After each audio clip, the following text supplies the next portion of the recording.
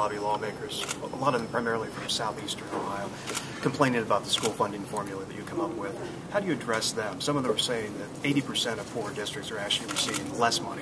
Well, they're- they're- they're- that's, first of all, that's not true. And secondly, look, anytime you have a school funding proposal, uh, the last one we had wasn't even funded, uh, you're going to have people that are going to say, I'm not getting enough.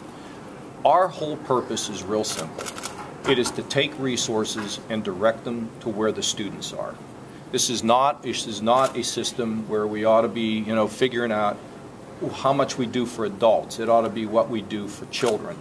And, you know, if you're poor, if you're, if you are a growing population, we're going to help you per pupil more than if you're wealthy. I mean, I laid all that out in the state of the state, and the numbers are pretty clear. So, you know, I just think it's always a difficult process when you do school funding.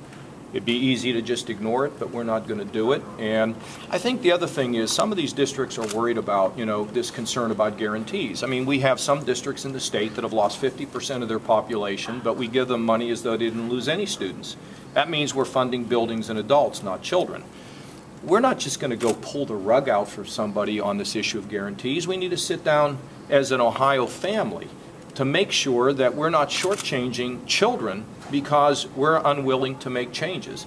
But I can't tell you when that, how that's going to happen or when it's going to happen. But at the end of the day, what people need to know is when school districts need help, we will help them based on their ability to pay. But the most important thing, dollars should be with children. And that's exactly what the school funding plan does. We believe it will be ruled, it will be ruled constitutional if it's challenged in court.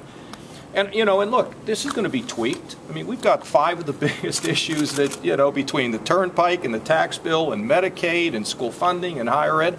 All these things get changed. That's the legislative process, and I welcome it. Governor, you